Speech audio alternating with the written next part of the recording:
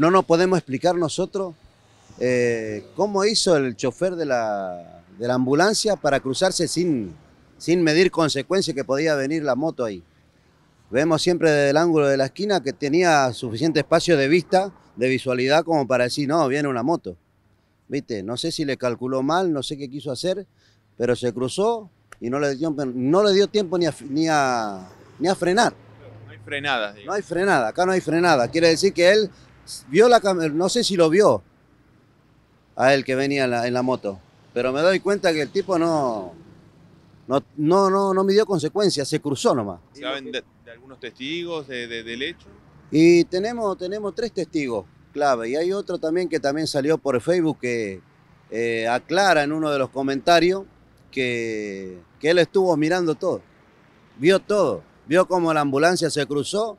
No, no tenía la, ni siquiera las luces prendidas, no tenía sirena prendida, nada. Entonces de repente eh, eh, lo que queremos nosotros es justicia y que, que esto, el, el- fiscal que estuvo en turno, que estuvo a cargo del caso, que, que ni siquiera nos dio la cara para decir, che, te doy el pésame, Miguel. ¿Viste? Nada. El, hombre cumplió de firmar un papel y mal firmado a destiempo, a destiempo total, porque mi hijo quedó mu- muerto dos horas, hasta cuatro prácticamente, porque a las 11 levantaron el cuerpo recién a las 11 de la mañana. Hasta el momento no sabemos nada, no ten- el, el- el fiscal no notificó a nosotros personalmente, no nos notificó nada a nosotros. No hay nada.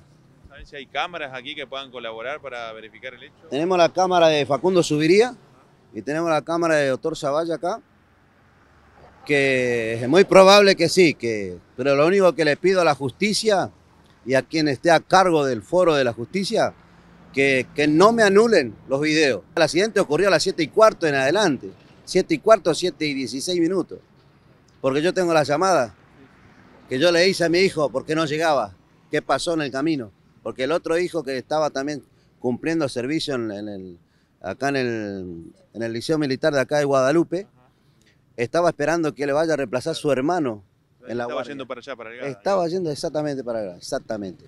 Y no llegó nunca y me entré en la desesperación. A las, a las 7.45 hago la última llamada y en ese momento, en ese mismo momento, me golpean la puerta de mi casa diciéndome que me vienen a decir que mi hijo estaba muerto tirado acá.